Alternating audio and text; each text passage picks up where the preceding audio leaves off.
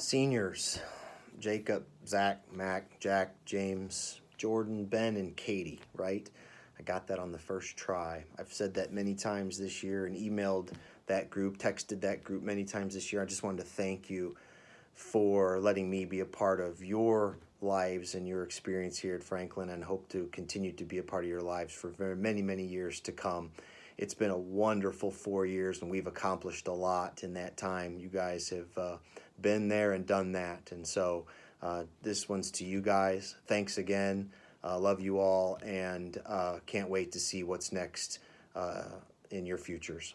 Take care.